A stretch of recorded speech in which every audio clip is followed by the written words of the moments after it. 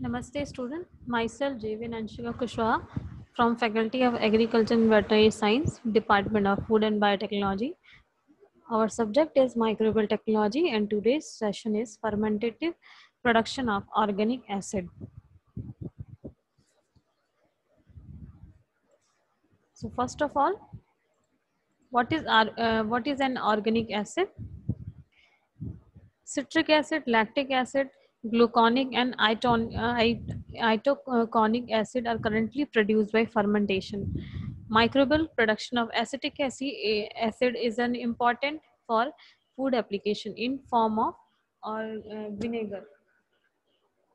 So uh, first of all, we will discuss what is organic acid. So an organic acid is an organic compound with acidic properties. The most common organic acid are carboxylic acid whose acidity is associated with their carboxylic group COOH. Sulfonic acids containing the group S2OH are relatively stronger acids. So organic acid are uh, used for varied, uh, variety of uh, purposes. From leather uh, from leather tanning to food additives example organic acid um, include tartaric acid and formic acid. So uh, basically uh, the organic acid are compound uh, that possesses acidic properties. Given that these acidic acids are organic a carbon atom must exist in its structure. So uh, what are the properties of organic acid? Mm, uh, as we learned, organic acid have acidic property. So for instance, acids have pH values of less than 7.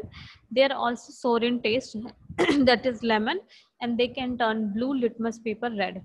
Chemically, acids are known as uh, known to be different types, strong or weak. A strong acid is one that fully or nearly fully dis, uh, dissociate or separate into a, its smaller particle in solution. Weak acids sit on the other side of the spectrum. They do not fully dissociate in solution. Organic acid are commonly weak acid, thus they don't do not give up on protons easily in solution H plus but how does it qualify the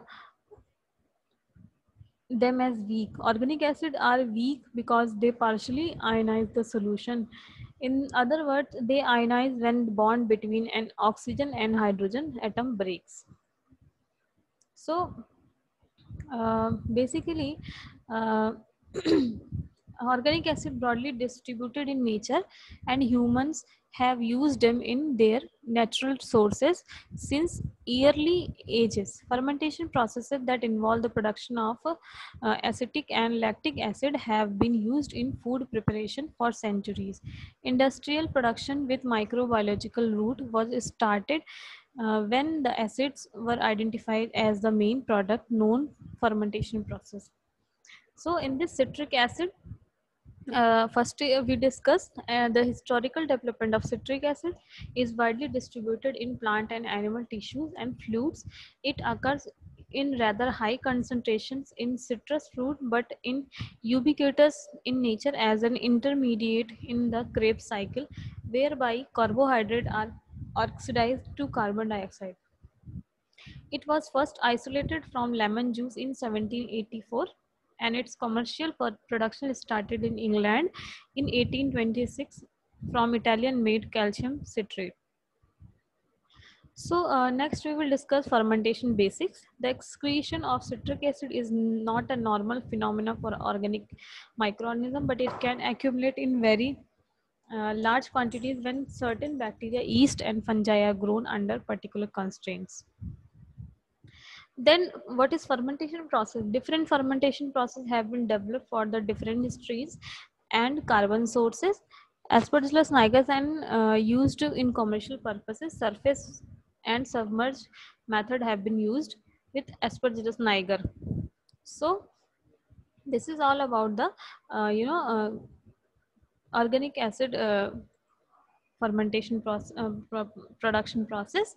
So uh, if you have any uh, query about the, uh, about is uh, this topic you can write down in comment section. Thank you